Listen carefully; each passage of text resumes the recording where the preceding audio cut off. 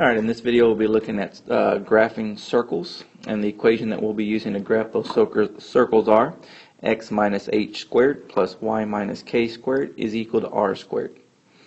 Now the first thing we're going to need to do in order to graph a circle is find its center, and the center can be found at h, k. All right, so to find the center, we'll use h and k. Notice how they're opposites. Here we have x minus h, so we'll be using the opposite. Same thing with k. Notice it says y minus k in parentheses, so we'll be using the opposite of that value as well. Besides the center, we'll also need to know the radius of the circle, and the radius of the circle is going to be r. In other words, whatever the last number is that we have over here, we'll take the square root of that number to find the value of r, the radius. So again, to graph a circle, you need the center and the radius. So now let's go ahead and take a look at some examples. All right, here's our first example. We've got the equation x plus 1 squared plus y minus 2 squared equals 9. The first thing that we're going to do is find the center. And in order to find the center, we're going to use h and k. h would be the opposite of the positive 1, which is negative 1 k would be the opposite of a negative 2, which is a positive 2. Therefore, the center of our circle is going to be at the ordered pair one, negative 1, positive 2. So I'll go ahead and put a point at negative 1, positive 2, which is right here. That's going to be the center of our circle. Now what we're going to do is we're going to find the radius of our circle. And the radius of our circle can be found by taking the square root of 9. The square root of 9 is 3. Therefore, the radius of the circle is 3. So from the center, I'm going to go 3 to the right. I'll also go 3 to the left. I'll also go 3 above the center. I'll go 3 below the center.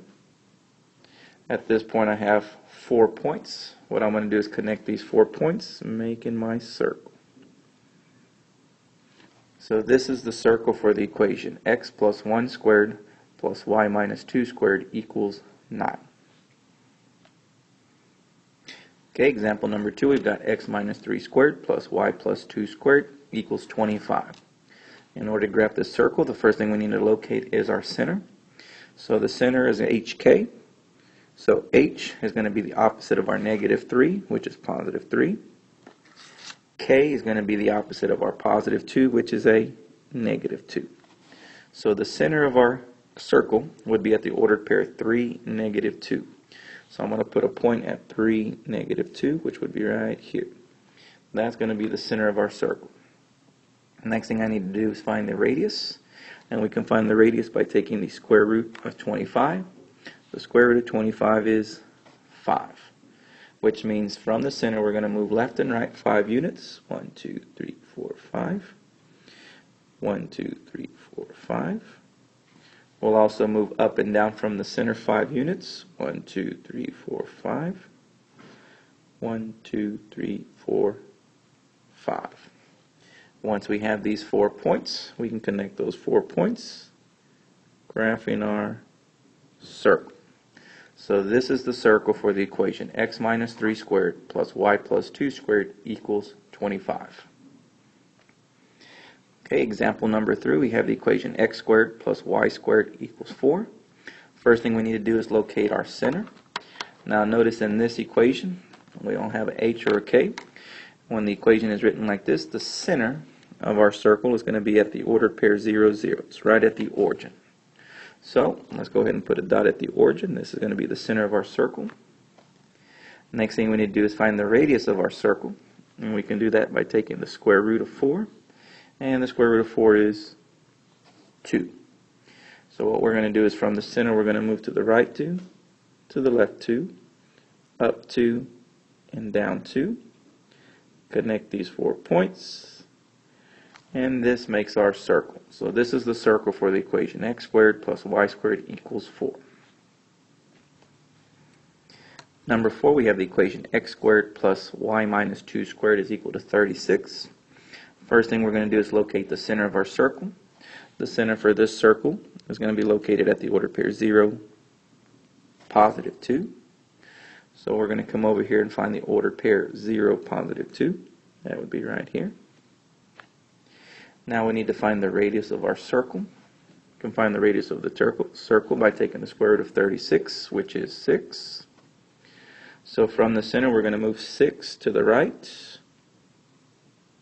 We're going to also move 6 to the left. We're going to move 6 up. 2, 3, 4, 5, 6. We're also going to move 6 down. 1, 2, 3, 4, 5, 6. Once we have these four points, we can connect these four dots, making our circle. So this is the circle for the equation x squared plus y minus 2 squared equals 36. Okay, let's take a look at one more example. We have the equation x minus 3 squared plus y squared equals 25. We'll start by finding the center of our circle, and the center of this circle is going to be at 3, 0. So we'll come over here and find the ordered pair 3, 0. And there it is.